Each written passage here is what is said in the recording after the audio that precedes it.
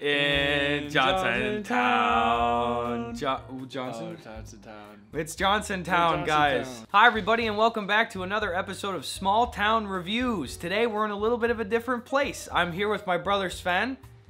Don't. That was an actual bite. Yeah. I don't like that. Today, we're out here in the place where we usually play garage pool. Look around us. Look at this set here. You see all that? I made it. Wow, Sven made it. In fact, right now when I'm talking, you're probably seeing a bunch of cool footage from the awesome pool and knob streams that we've been doing out here on Sven's channel. Sven and I are streaming on Twitch all the time. Twitch.tv slash Gus Johnson and Twitch.tv slash Sven Johnson Sven. Go hit us with a follow because right now, the day this video comes out, we're, we're both streaming today. Got their finger right in their nose. So You we put should- the finger in their nose. I am sorry, but Okay. Can I have that booger, please?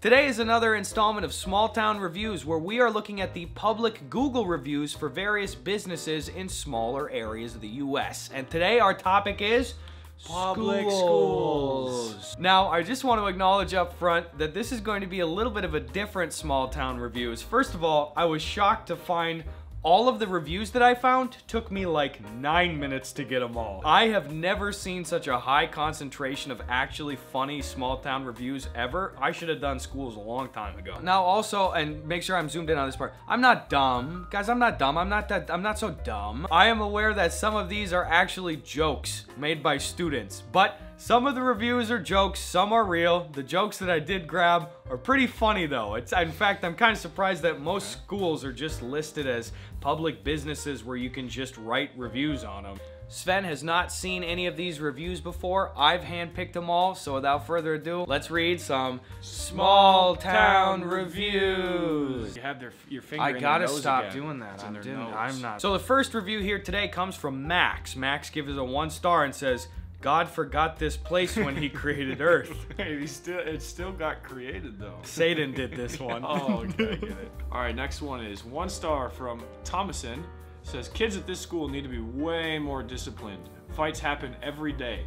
I wouldn't send my fish to go to school here. Otherwise, the teachers are great. That's pretty good though. Semi sober says one star. I was running in the hallway and was hit with a pencil bag. When confronted by a teacher, she told me to walk and left. My teacher told us she would not repeat herself. Did so seven Wait, times. Did the teacher throw the pencil bag? I would guess probably because of this. What The hell? Listen, kids aren't walking. They gotta get hit by a pencil Are we saying where these schools are from? Nope, but I all of these are in Minnesota and Wisconsin. So Midwest, love ya. Hey. XX gives it one star and says, "Just had a question." Dot dot dot.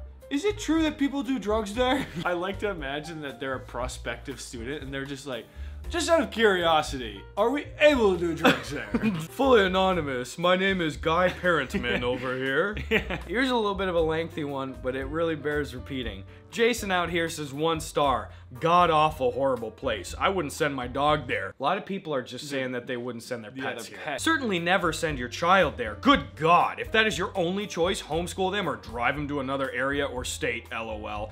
If you care so little for your children, test them before you send them here. Then test them again later. You will likely find them more stupid than when you sent them there in the first place. It is quite possible that they will have permanent brain damage from simply walking in the front door. The that I remember were unbelievably substandard, and that is me being polite. Sigh. You know you're a real loser when you put in your own stage prompts. Ugh. Of course, this is only my most humble opinion and reflects no facts whatsoever. Take it for what it is. Your mileage may vary. I like how aggressive Jason was too, saying like the second they step in, they're gonna lose brain cells. Like this username too. Read that one. Username is not me, not me. I didn't think I need to censor that one because it's not them. Yeah, so it's be not them. They won't know. Not me, not me says, don't do it. Don't send your child here. Is filled with spooky skeletons and ghosts. These monsters will eat your kids. I think this one is one of the joke ones I was talking about, but I put it in to be safe. So Princess out here giving this one one star. I am not View High School this year. It is good school. Learn different subject. Good school.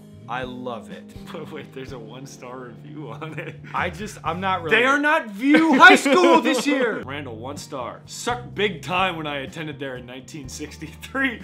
What? I think that the statute of limitations of being able to publicly review the school uh, and I don't know 50 years after you go to school there, dude. 1963, and this was left five years ago, so that's what? 2023, 1963, 40, 40, 60, 55 years ago. Oh my god, 55 Randall. years removed from this high school. You know that this is the first day that Randall's uh, nephews got him an iPad, and he's just like, finally I can air these decadal grievances. Here's one from Nicole. One. Shut the fuck. He, already- just he read already it. sees it. so Nicole goes two stars. The school is so gecko. It's true. Was she trying to type ghetto, I wonder? I'm pretty sure she was. So- she Maybe just voice to speech did. it could be like a nice comprehensive biology program though. Oh, this is so true. That's like when you run the English to Swedish translate through Google Translate. This school is so gecko. It's so true. We can say that because of we're Swedish. We're Swedish, so we can make fun of those people. yeah, those darn Swedes. Say suck. Yeah, always exporting Lingonberry. I don't know I don't anything know about our home about country. Sweden. Owen, one star. Bro, this high school, it ain't MLG enough, Whoa. mate. I forgot about MLG. Dude, I this is like a death com right here. Yeah. Mr. Smith on me, Mr. Smith on me. He's cracked. He's cracked. Cade, one star. I tried to put on my gym shoe last week and there was a mouse in it. If you and there's the worst part is I actually can't tell if this is a joke. If you go one day without stepping on a cockroach or seeing a mouse, I applaud you. Alex, four stars. They are chill when it comes to Heelys. That's an Nice, dude. important Let's factor. go. Let's go. We had Heelys banned. I remember when Heelys came out and I was in school and they were just like the teachers like, if you wear these, we will steal the wheels and you will have to just wear the blank shoes. I remember that, and then some girl came. I've never seen these before or since, but with a pair of knockoff Heelys that had two different heels. So, and they were they were like part of the shoe. Dude, I honestly that's my first time even thinking about that in like probably 15 years. I know. I'm they gonna were see like if I can really plastic. Yeah, I was, I'm gonna see if I can find like a picture of what I'm talking about. If you guys had these double skate shoes or any other knockoff Heelys, please tell me in the comments below. I want to see I have them. no idea what they were called. Soul Soulsies. Toby, one star.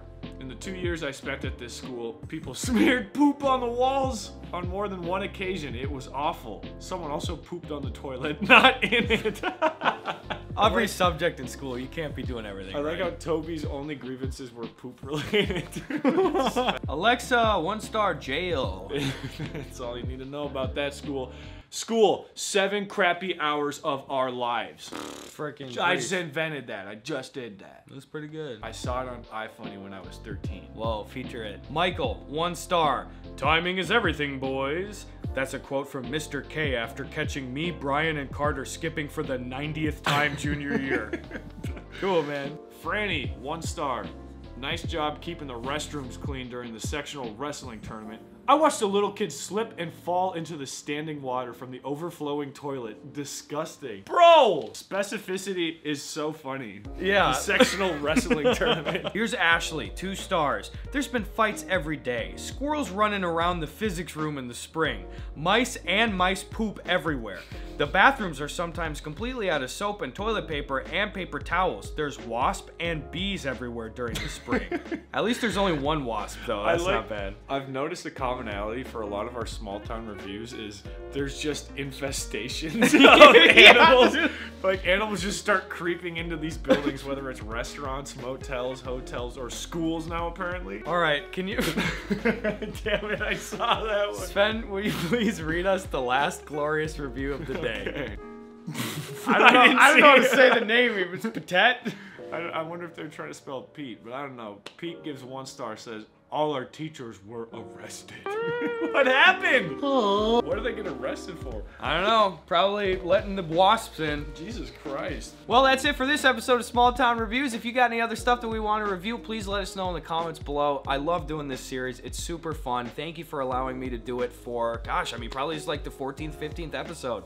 Thank you so much. New sketch out next week. And please sub to Sven and Put your finger in their nose again. You got I boogers don't- on your I finger gotta again. retire from YouTube. This is too hard. What's going on, gamers? I'm sitting out in my backyard today doing nothing. Absolutely nothing. I'm doing nothing out here, okay? And you can't find out otherwise. You know why? Because I'm using Surfshark VPN, the best VPN out there, dude. Surfshark VPN keeps you and your online identity safe by encrypting all of the data and information that your device devices send back and forth through the internet. It will keep you secure and protected. They've got an excellent comprehensive antivirus software. I mean, come on. Who what do, what do people usually use VPNs for? Guys, use your your stinking brain. Do you need me to walk you through this? You can be in a different country, set your location to your home country, or any other dang country, and watch all of the content on streaming services, websites that are exclusive to that place. Surfshark is the best at that. It keeps everything streamlined and accessible no matter where you are around the globe. See that guy over going overhead in the airplane? You hear him up there? Don't show him. He's probably up there using Surfshark VPN, right? Don't show him. If you go to surfshark.deals forward slash Gus and use my coupon code